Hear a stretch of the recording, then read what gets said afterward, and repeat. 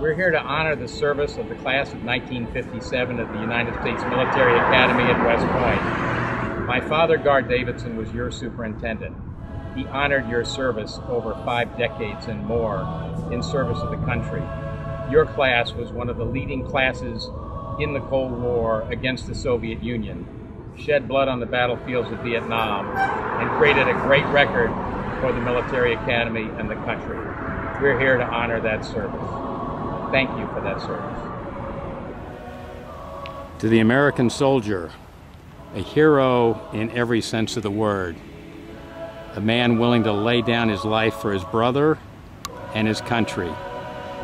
Presented to the Corps of Cadets by the classes of 1935 and 1936. The lives and destinies of valiant Americans are entrusted to your care and leadership. This is what leadership is all about. The American Soldier. Michie Stadium, home of West Point football heroes and great Americans. The first touchdown in Michie Stadium was scored by Gar Davidson at the opening of the stadium in 1926. The chapel.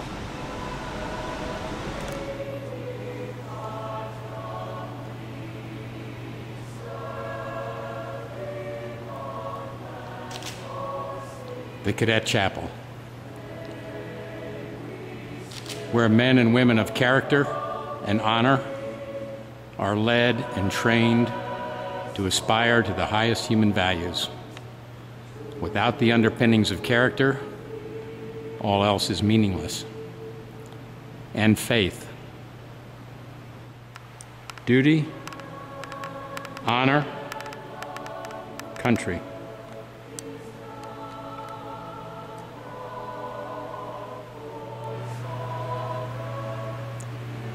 Men and women who are willing to sacrifice their lives for another and for their country. The highest ennoblement of mankind, according to Douglas MacArthur in his famous speech at West Point in 1962.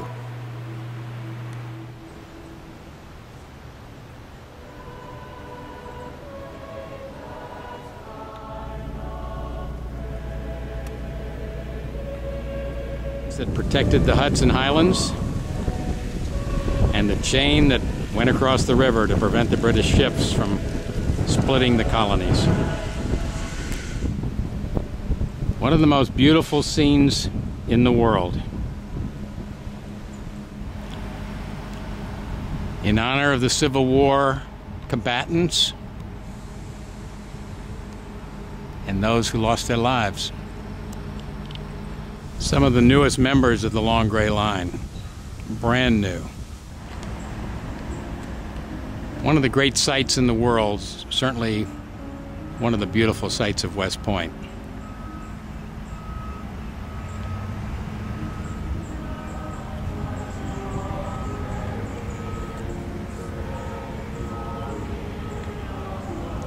Sylvanus Thayer, creator of one of the great institutions of the world.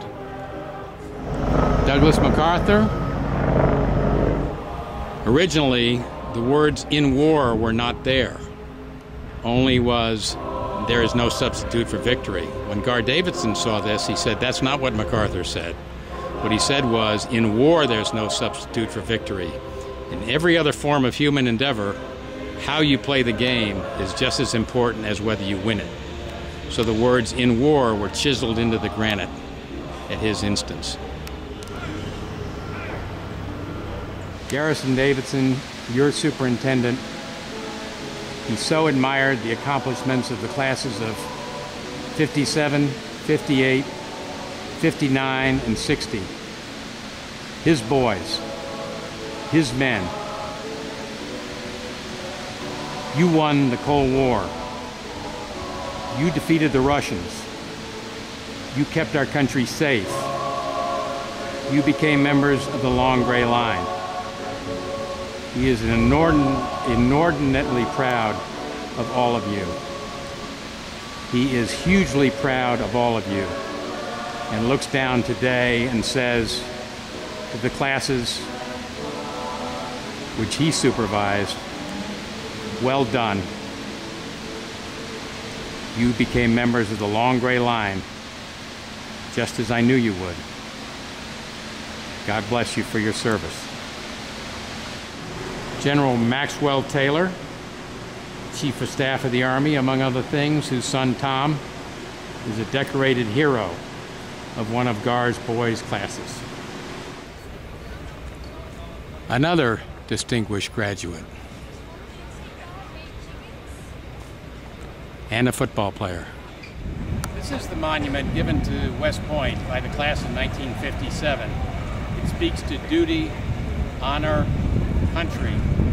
It's the key statement about what West Point is truly all about. And the class of 57 has said it extremely well. The class went on to become an honored class in the field, in combat, included a chief of staff of the Army, uh, many men who stayed in the military long beyond the other classes and contributed to the winning of the Cold War against the Soviet Union. God bless you, class of 1957. The class of 1957 lost a dozen men shedding their blood and their lives in Vietnam in the service of the country. The class paid its price on the battlefield and became a strong part of the Long Gray Line by the class of 1957 a lifetime gift to the military academy stating its most basic principles of duty, honor, country, and service.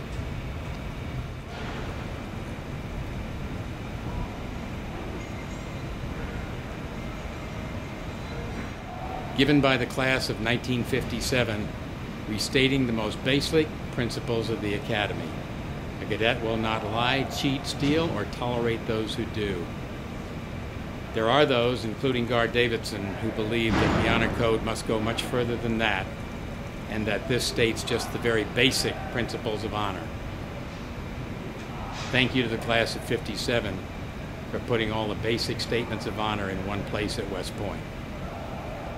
From Robert E. Lee, Superintendent of the Military Academy in 1852 to 55, there's a true glory and a true honor the glory of duty done, the honor of the integrity of principle.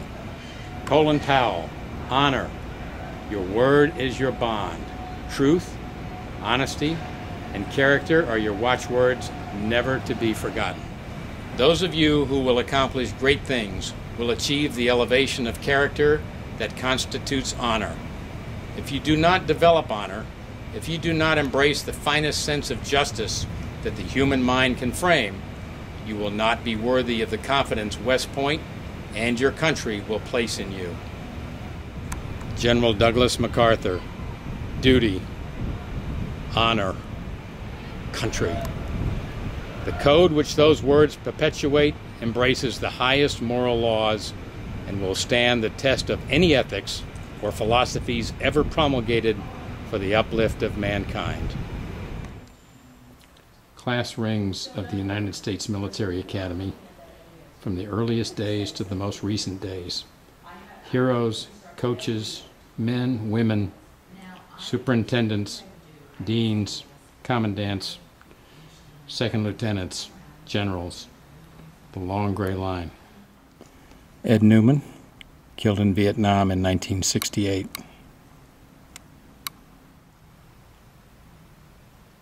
The rings of the generals of the Army MacArthur, Eisenhower, and Bradley.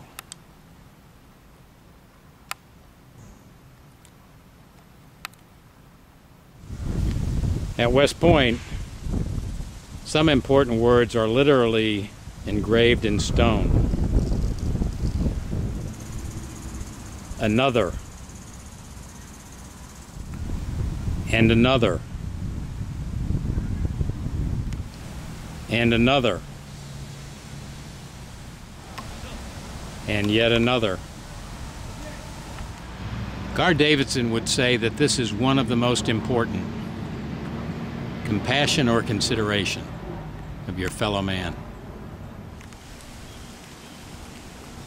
So, in this resting place of West Pointers, heroes of all kinds, including those who gave their lives for the country, including George Goethals, Ed White, Lucius Clay, Ed White Sr., General William Westmoreland, many members of the academic board who were here when your classes were here. Billingsley, Renfro, Stevens, Schick, Barrett, Stamps, Counts, Gillette, Esposito, Bill Bessell, professor of math, and then dean of the academic board. A position later held by Jerry Galloway. And those who gave their lives for their country in battle. The most honored of all. Those of your classmates who are in their final resting places being able to say, well done.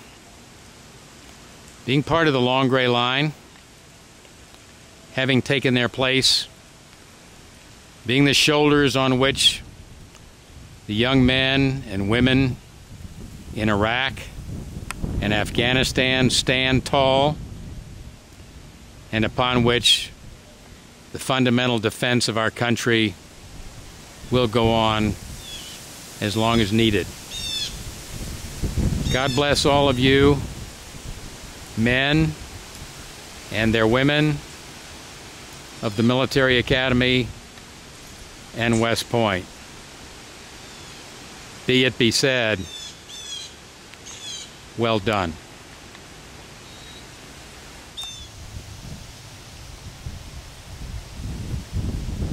All Vietnam. Many killed within weeks or months of their arrival in country.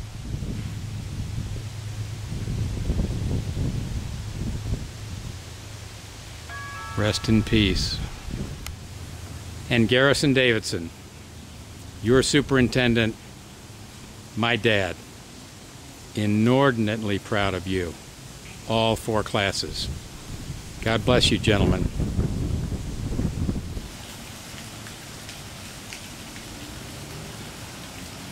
May he rest in peace.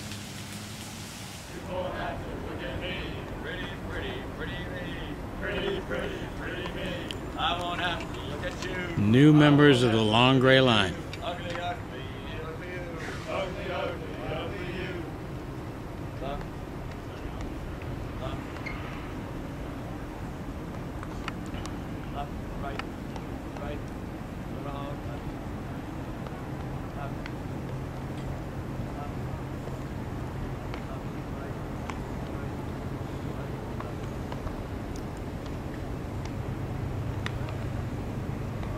Gentlemen, and your ladies,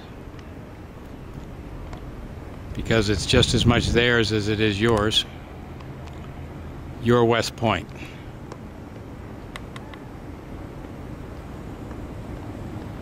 And those to come after you, for whom you have led the way.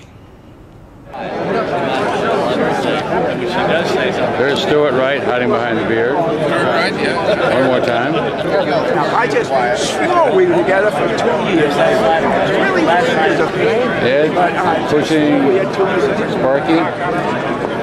He came over. His, his, his memory is failing. I'm talking first. First year, we were.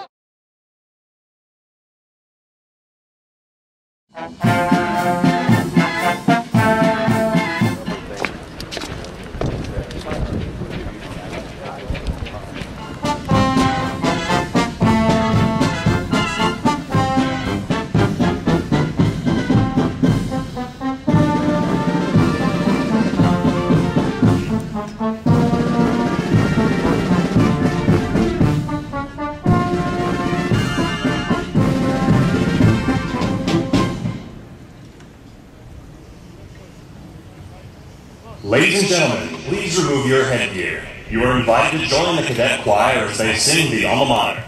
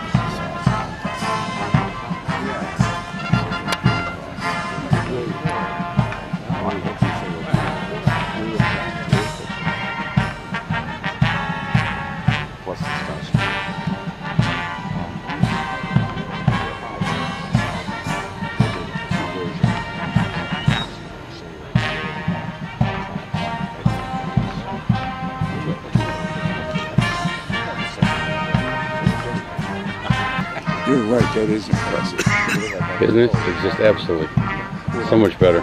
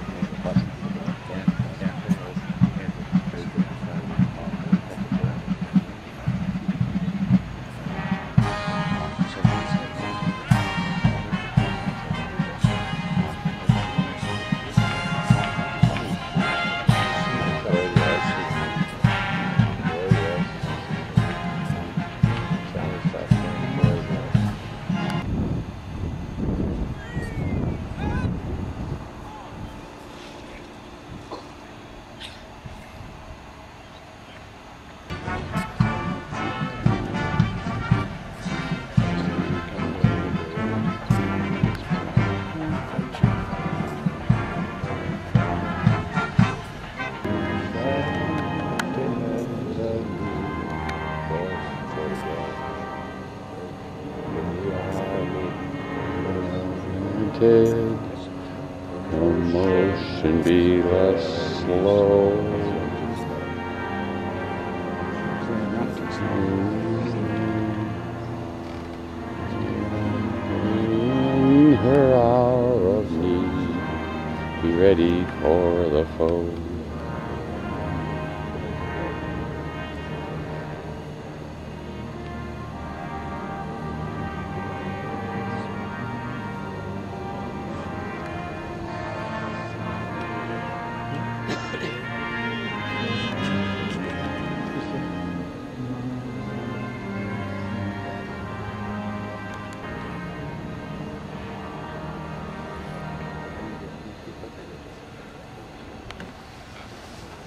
I don't know if the Class 8 was wrong, but we actually got Army Blue because if the ladies come up in June, she says they don't have Army Blue anymore. The passing review serves two functions for the superintendent. Oh, oh. So all these stories you're telling the DP's felt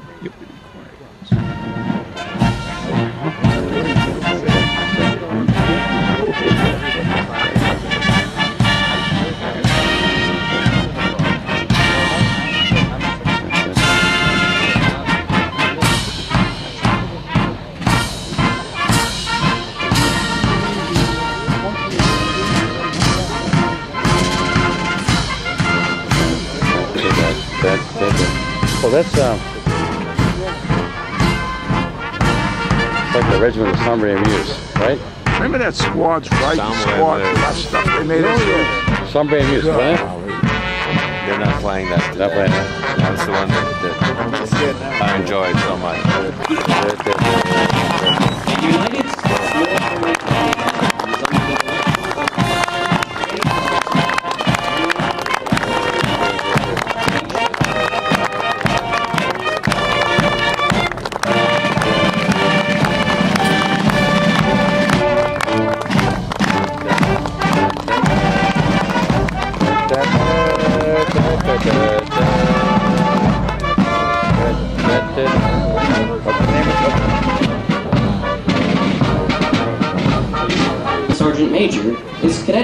Sergeant Major Nicholas Esslinger from Oakley, California. Sergeant Major is Cadet That's Command Sergeant cow. Major John Griffin I know, but that's a from lieutenant Bellevue, cow. Washington. Yeah. Understand that, yeah. Company A is Yeah. commanded Virginia. Hey, who's that? Sergeant. Uh, Yeah. First sergeant. He's a cow sergeant. Yeah. From Oxford, Mississippi. The first sergeant is Cadet First Sergeant.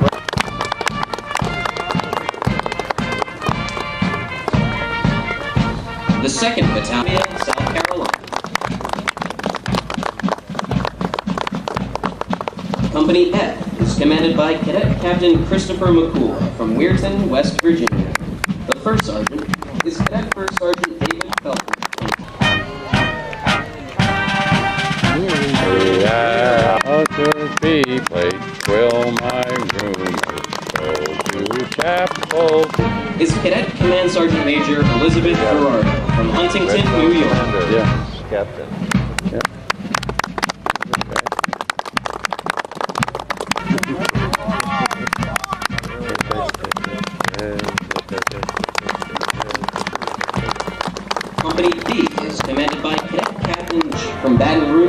Louisiana.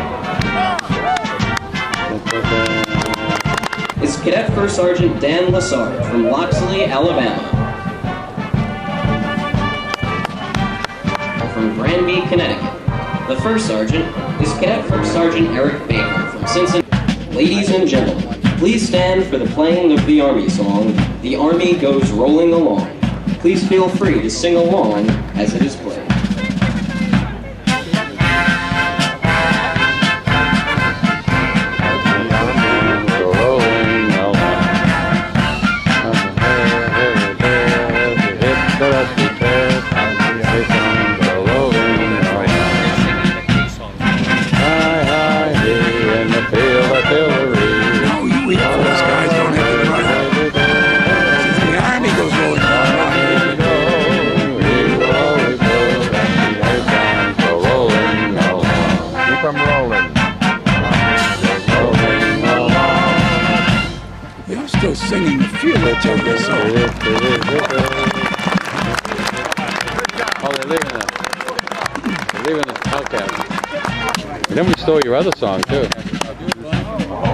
Yeah.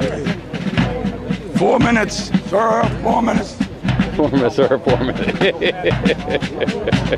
Further, three minutes. That's about the time to get out of bed, right? Yeah. Three minutes? Get out of bed about there they three go. Kind of minutes. marching with it. Five, four, three, There they go. and run light out.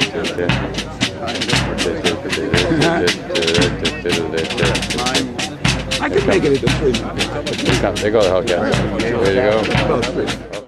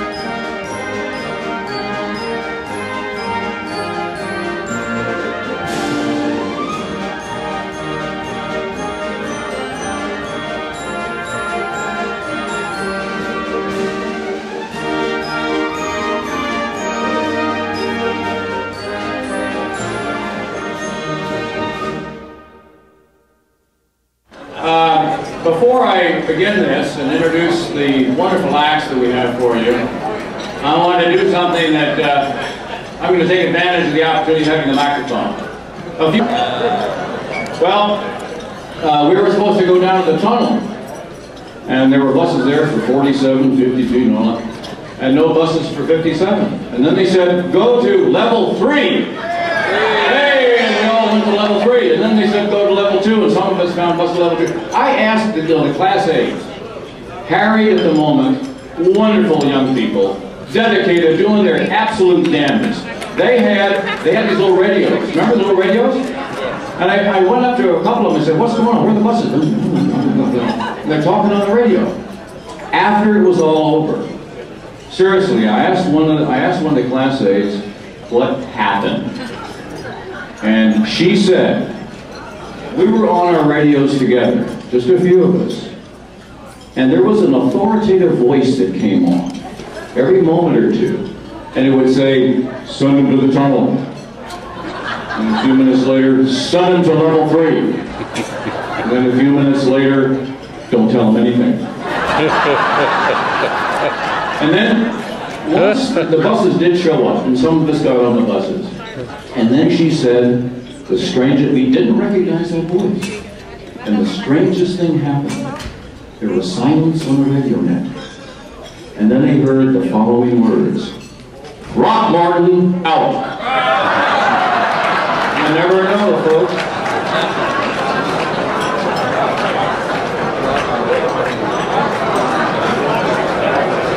Uh, I'd like to welcome, welcome uh, before we begin, Ann Zabriskie. Ann, where are you? Here. Ann Zabriskie. Now he may sort of slip in a little bit later, but you see there's a horn here on the floor. It's called a it's called a baritone. Five years ago, played a cornet, that little thing. Well, tonight he's going to play the baritone, but you'll hear from him just a wee bit later. Uh, our our first uh, couple.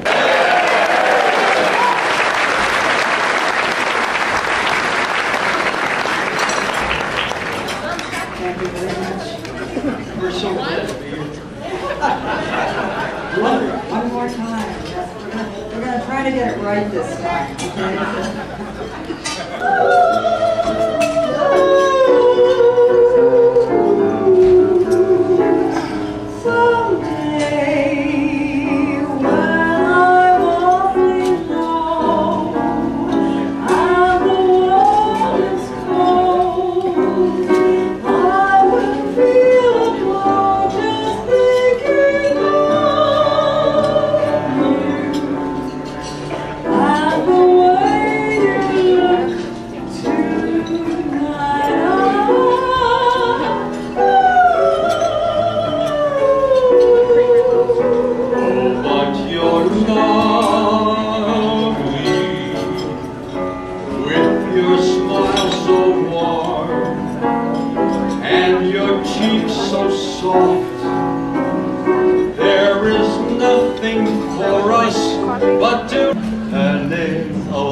Suzuki. She's a radishes, octopus, rice, and dried squid. It was a moonlight night in Yokohama. Uh, we're feeling hungry and wanted to eat. So I'm going out to a tiny Japanese restaurant and I'm sitting down on my seat. The waitress was a most beautiful creature.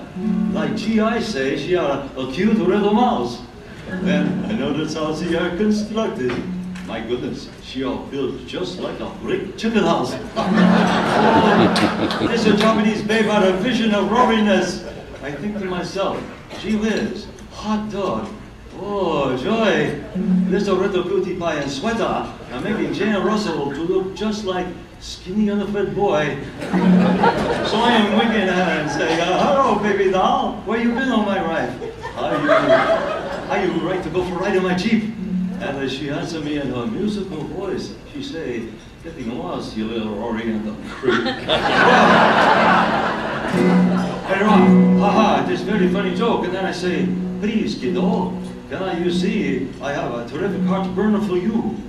And you're cold as well, digger's knee. And she said, no, no, really, I am very hot tomato. I'm going to put on my crazy red shark, crazy red socks. and get the double shot of sake over the rocks. and when I take her home, I feel so tickled. So she give me a big kiss and say, good night, honey bucket.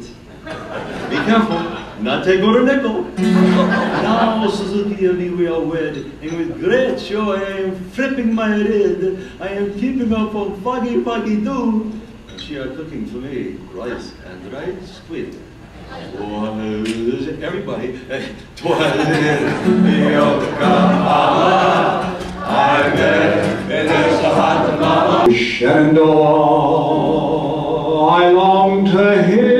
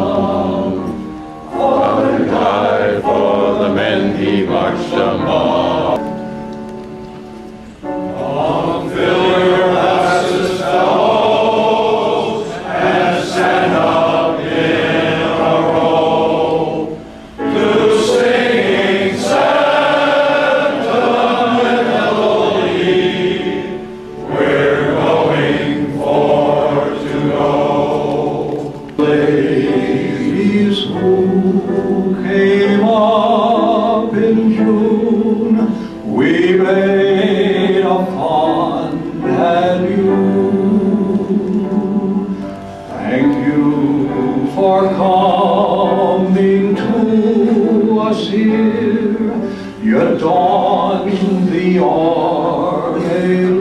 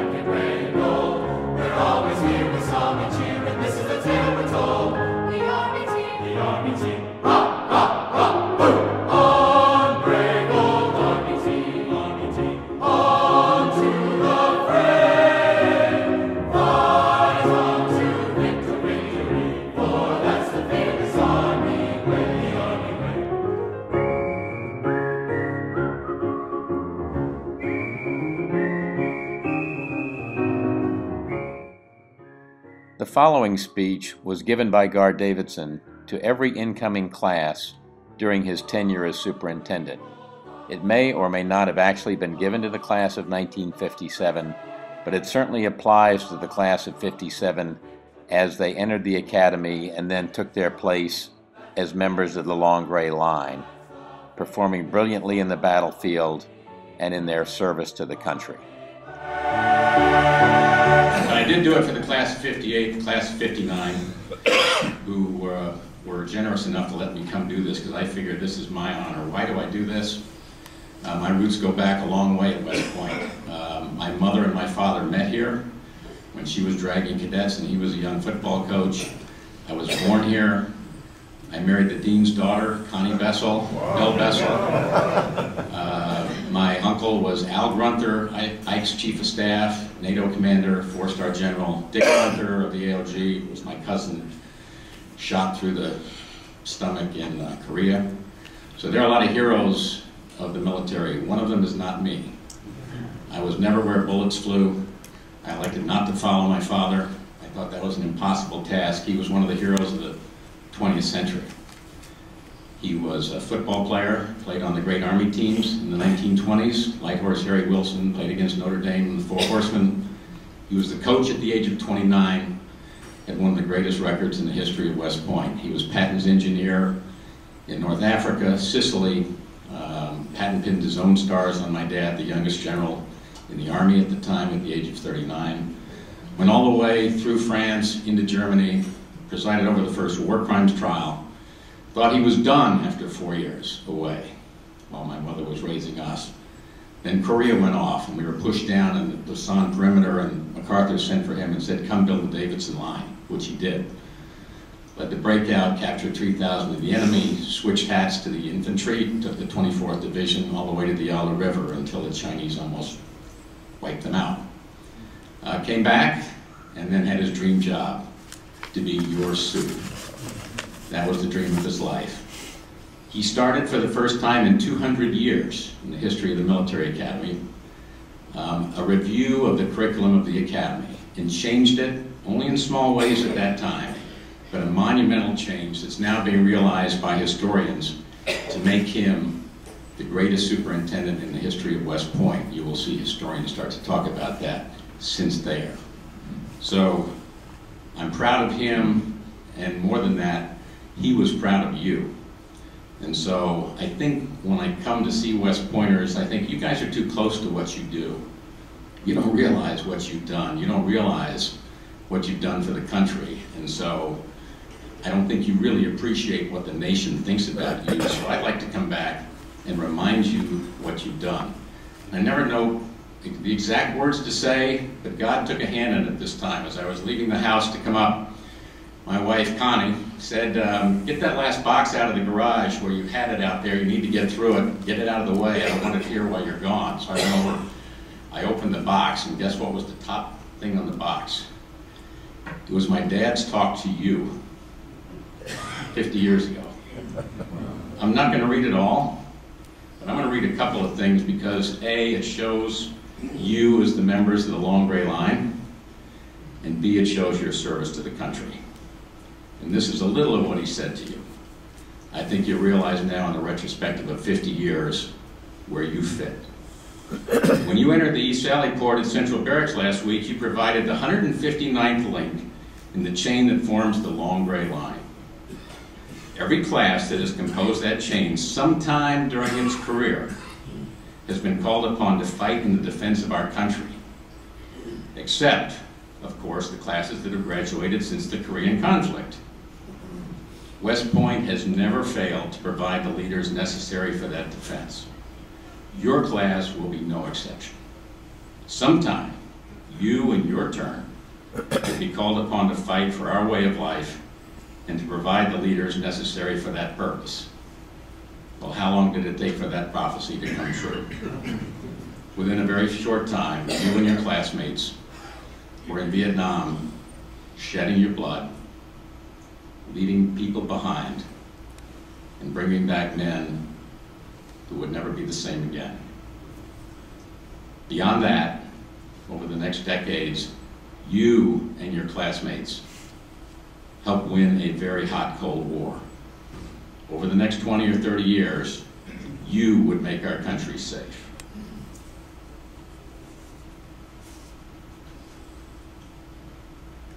He also said, West Point will train you for that change.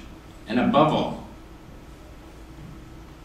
you will receive here at West Point the development of an integrity and a character in each one of you that on the battlefield can withstand the most compelling of human instincts, the instinct for self-preservation. The Academy is dedicated to the unswerving purpose of turning out men of quality who can be entrusted with the lives of their fellow countrymen and the security of their country. Think about that. You can be entrusted with the lives of your fellow countrymen and the security of your country. That's a singular honor that you and men like you have done for decades, now for centuries. To accomplish that, we follow a unique pattern founded on an extreme devotion to duty, a deep love for country, and a high regard for honor. You're members of the same long gray line that produced Grant, Sherman, Sheridan, Lee, Jackson, Pershing, Bradley, Patton, Eisenhower, and a whole host of others. Each of those individuals, in their time, pulled back, back their chins just as far, raised their chests just as high, and polished their shoes and brass just as thoroughly as you're doing at the present time. They too ran and drilled from morning till night. While you're here at the Military Academy, and these words should now ring true to you, you will make friendships deeper, closer, more lasting than any you have known in your lives. Most of them will span at least half a century of time and a world and area. It may be surprising to you, he said, that I would gladly swap my position here with any of you today. Think about that from a three-star general. During June week, as you will now do, one of the highlights is the march of the graduates from the officers' mess to the Thayer Monument. To me, that was always an inspiring sight. As a cadet, I watched those men go by with their classes and could easily envision the deeds that they had performed at the China Wall, in the swamps and jungles of the Philippines, at San Juan Hill, at Chateau Thierry, at Belleau Wood. Last June, my class held its 30th reunion as we marched by it was not hard for me to harken back to those days when I was a cadet and watch other classes go by. In my class now, in our turn, and you in your turn, we had those who hobbled, those who had saluted with their left hand. We had one chap who couldn't see, others simply weren't there. We in our turn had become a symbol of the deeds for which West Point stands, and I'm certain that you, in your turn, although it seems distant today, will go through the same experience. Now, in closing, let me say that I feel the class of 1960 has gotten off to a fine start. You're just starting to write the first chapter in your service careers. When the chapters are closed years from now, let the record say, well done.